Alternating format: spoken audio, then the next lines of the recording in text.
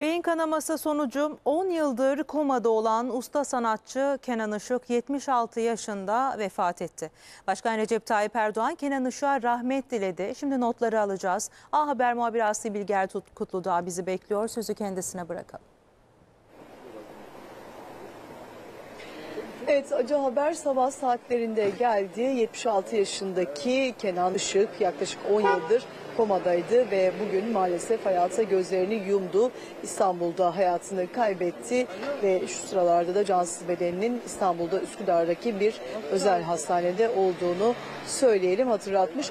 Olalım tabii acı haberi sosyal medyadan özellikle arkadaşlara duyurdu. Tabii ardından hem sanat camiasından hem siyaset dünyasından isimlerden tek tek mesajlar gelmeye başladı. Başkan Recep Tayyip Erdoğan da sanatçının ölümüne ilişkin bir sosyal medyadan mesaj e, paylaştı. Hemen o mesaja değinecek olursak vefatından derin üzüntü duydum.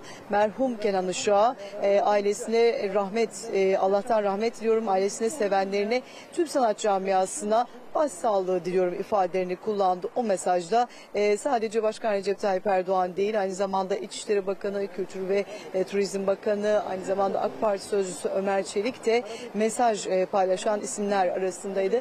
1947 doğumluydu. Malatya'da dünyaya gözlerini açmıştı ve e, özellikle sanat hayatında ortaokullarında ortaokul yıllarından itibaren ilgi duymaya başlamıştı. Tiyatroya girmişti amatör olarak. Sonrasında ise 1972 yılında profesyonel olarak e, artık tiyatro oyuncusu olmuştu. Devlet tiyatrolarında e, ve ilerleyen yıllarda yine şehir tiyatrolarında genel sanat yönetmenliği yaptı. Birçok oyunun altına imzasını attı ve o e, birçok diziyle, sinema filmiyle hafızalarımıza kazındı. Hemen onlardan birkaç tanesini hatırlatacak olursak özellikle program sunuculuğu da yapmıştı Kenan Işık ve ATV'de yayınlanan o dönemde Kim Milyoner Olmak İster isimli e, programın özellikle uzun yıllar sunuculuğunu yapmış ve adeta kendisi o programla özdeşleşmişti. E, seyircinin hafızasına kazınmıştı. Ve dediğimiz gibi birçok tiyatro, film ve sinema e, dizi de de rol aldığını söylemekte fayda var.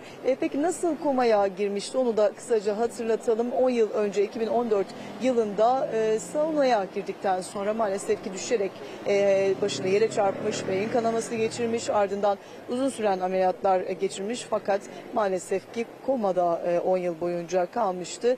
E, tabii e, ailesi tarafından e, çok özenli bir şekilde bakılıyordu. Güzel haberler gelmesi bekleniyordu. Zaman zaman çünkü e, kendisinin e, özellikle besin takviyelerle e, beslendiği, bir taraftan kilosunu kaybetmediği e, arkadaşları tarafından açıklanıyordu ama maalesef ki o güzel haber bir türlü gelmedi ve 10 yıldır komadaydı. Bugün de acı haber geldi.